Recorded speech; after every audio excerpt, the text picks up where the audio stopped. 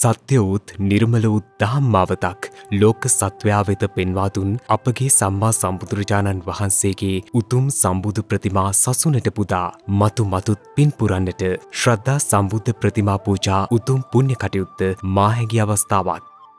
එම සම්බුද්ධ ප්‍රතිමා පූජා පින්කමහි තවත් අදියරක් ඊයේ පැවැත්වුණේ මහමිවුණාව භවනාසපුවාසේ පින්වත් ස්වාමීන් වහන්සේලාගේ ගෞරවනීය වැඩම්වීමෙන්.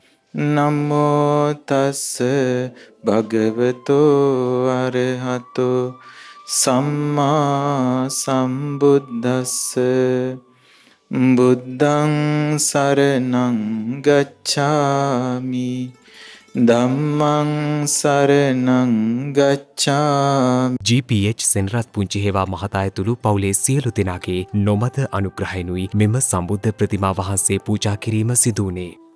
එතකොට අද අපිට මේ ප්‍රතිමා වහන්සේ නමක් දකිද්දී සිහිපත් වෙන්නේ මේක මූර්තියක්. එහෙම නැත්නම් මේක නිර්මාණයක් කියන හැඟීම නෙමෙයි. අපි හැම දිනාටම මේ දකිද්දියද සිහිපත් වෙන්නේ කාවද බුදුරජාණන් වහන්සේ. ඒ නිසා ප්‍රතිමා පූජා කිරීම අග්‍රගණ්‍ය පුණ්‍ය කර්මයක් ලෙස අපි හැමෝම දරාගෙන සිටින හේතුව ගිහි පැවිදි හැම කෙනෙක්ම මේ ප්‍රතිමා වහන්සේ සිහිපත් කරන දැක බලා වන්දනාමාන කරන භාග්‍යතුන් වහන්සේගේ අප්‍රමාණ ගුණයන් උදෙසා පුද පූජාවන් පවත්වනවා.